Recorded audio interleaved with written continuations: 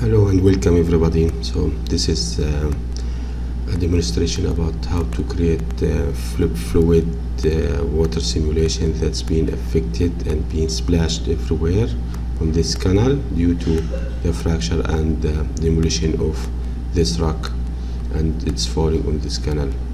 Um, using Megascan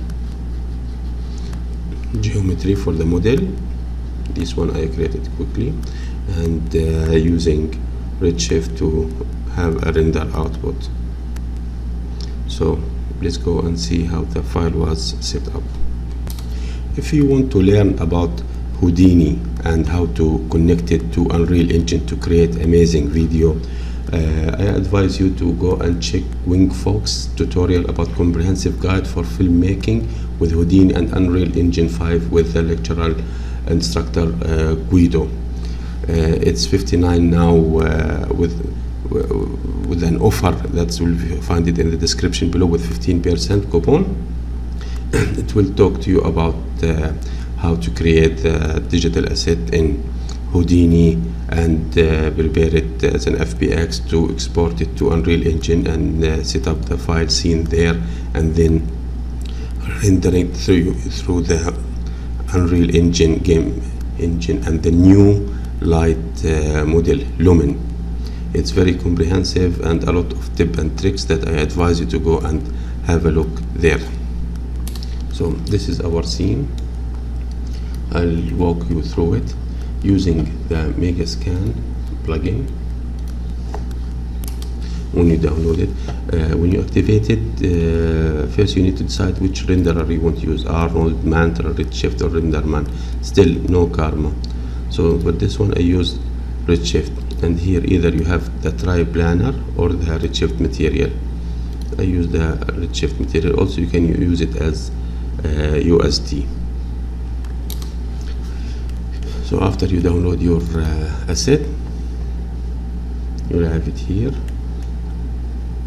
is activated so this is one of the very famous asset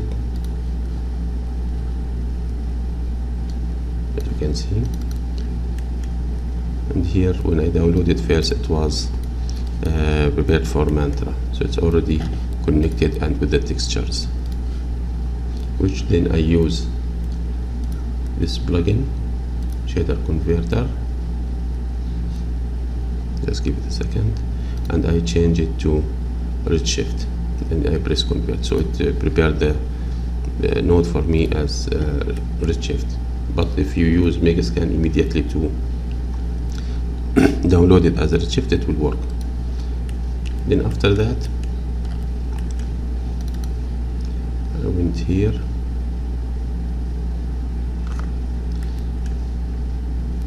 Uh, in a previous video I went through creating the connection and destruction and the destruction and the uh, Voronoi fracture for this piece and we simulate it to fall down.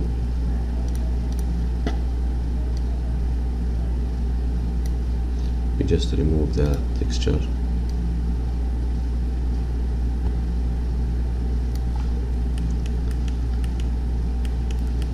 Let's go through it.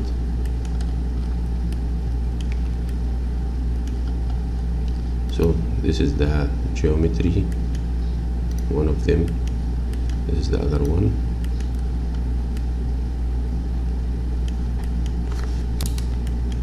So we brought it here and we split it. So this is the piece. I did an ISO offset so I'm creating this fog and I'm scattering a couple of points here but before that I created this big high-res grid and scattering points total of 20 and I'm randomizing the normal. And I'm giving some noise for the grid. Then copy to point. So I have this crazy shape that will cut through the boolean fracture of the geometry. So we have it ready. Let's uh, add exploded view and have a look.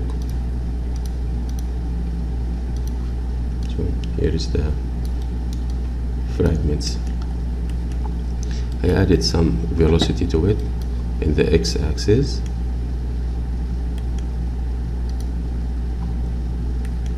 And this one I created as a uh, side blocks that will be affected by the simulation. RBD solver. Then I run the simulation.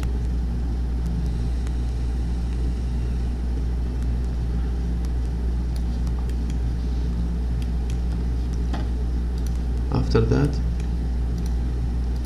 we created the fluid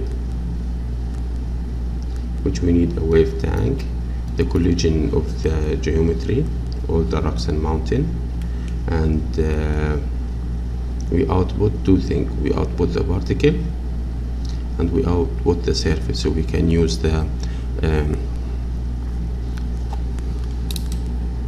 narrow bandwidth. So we have uh, faster simulation and with less particle with the same result because it will just simulate the surface.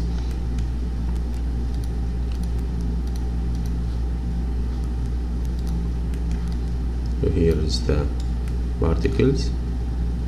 And here we cannot see but this is the volume.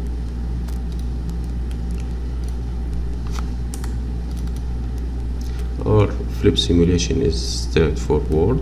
We have the flip tank we have the flip solver and these are the uh, already cached uh, static object of the mountain that's being fall down. And important thing is the flip solver. See you have bandwidth of 2 I activated the divergence. Collision I increase it to 1.5 so when it hit the rock it will make a bigger splash. And here also the vorticity I added so it will help us in the white water. And after that we import it here. And we have the cache of the water. Let's see the particle. So this is when it starts to splash. The more resolution you have the better uh, detail you will get. And this, this is the white water, uh, the narrow bandwidth. So here we have the volume and upstairs on the surface we will have the particles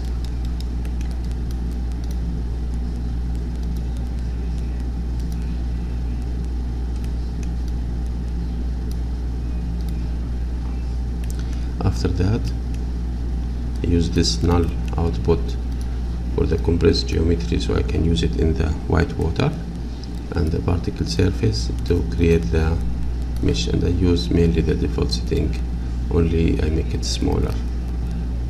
Then I cache it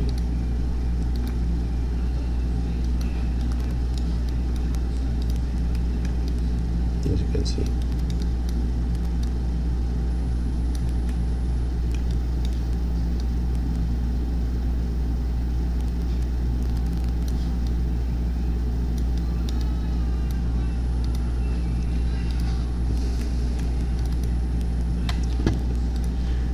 we created a white water source from the shelf tool.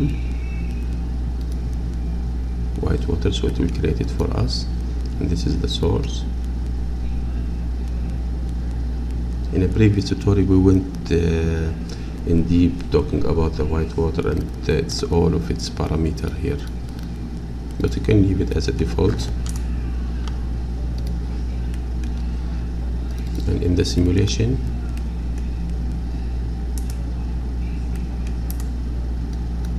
we created the stat attribute and with the foam and some erosion.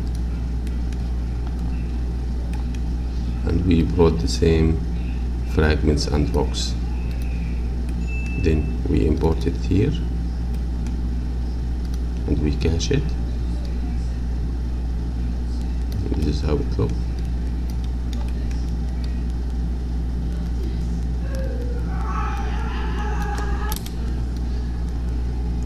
so we separated and we kept the foam to make it as a volume by doing volume rasterize attribute. So this is the foam and the other part is the particle we blasted according to the color. Because here uh, CDR is the spray, the green is the foam and blue is the bubble. As you can see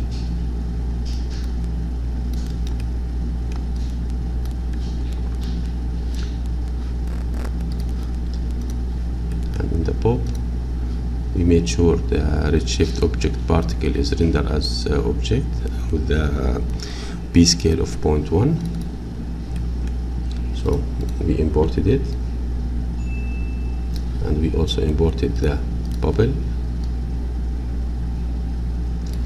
But for the spray we run it through a popnet we brought the same fragments and we brought it with uh, 500,000 particle per second. And it's receiving 0.9 of its attribute with some randomness. We give it a color to differentiate and we kill whatever outside the boundary and we run the simulation. Then we save it. As you can see we have much more particles. 1 million 99 and I leave it for only one second for each particle to live. In the material the fluid material is just uh, water preset. I kept it. Index of 1.33 and its uh, expression I make it zero. The interior use just a standard volume with some uh, tint to the blue. And the particle itself just a standard material with some uh, white color and backlighting because it's very thin. Same index of refraction and some sheen. This is another test you can use uh, volume for the particle also